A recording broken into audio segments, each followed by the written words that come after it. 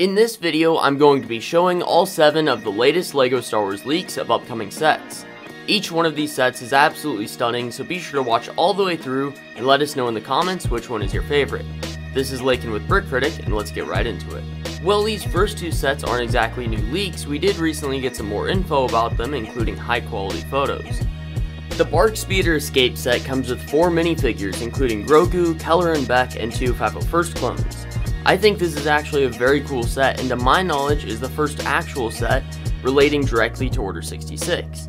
As for the features of this set, it has stud shooters and a removable pod for Grogu, which is actually really nice and correct me if I'm wrong but I'm pretty sure this is the first time we have ever gotten a minifigure scale pod for Grogu. This next set is probably one of the top sets I'm most excited about in this upcoming wave. Darth Maul's Sith Infiltrator is an absolutely insane set. It has four minifigures including the main, Darth Maul, Qui-Gon Jinn, and Little Anakin. But it also includes one of the most anticipated 25th anniversary minifigures yet, and that is Saw Gerrera, which it seems like LEGO really took their time with this minifigure and made it very detailed, especially on the face, torso, and shoulder pads.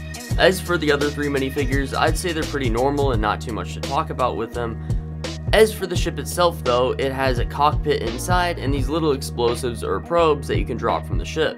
It also includes the famous speeder bike that Darth Maul rode on in The Phantom Menace. This next set is a gift with purchase of $160 or more. It's a battle droid carrier with 262 pieces and will have anywhere from 6 to 8 battle droids. I'm actually really happy LEGO is starting to do more cool LEGO Star Wars gift with purchases, and as you'll see in a bit, there's another really dope gift with purchase on this list.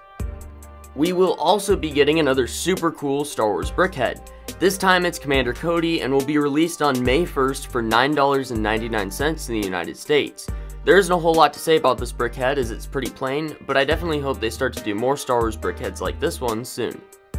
LEGO also finally decided to release another set based on the Ahsoka series.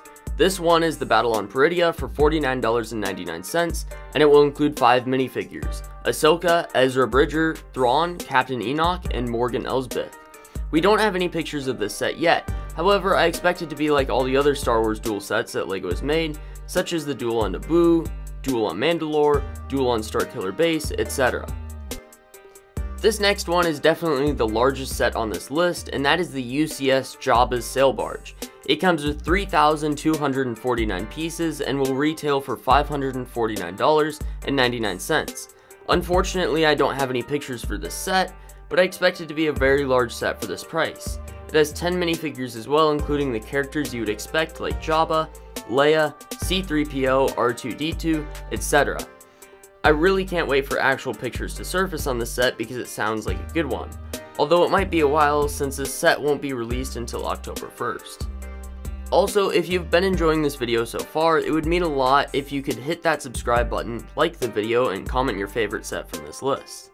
Without further ado, the final set on this list is actually gift with purchase for the Jabba's Sail Barge, and that is Luke's lightsaber. It has 145 pieces and will most likely be similar to the one released previously, like the Luke's lightsaber gift with purchase they did when they released the UCS AT-AT. I really appreciate all of you watching, and if you want to watch more, click here.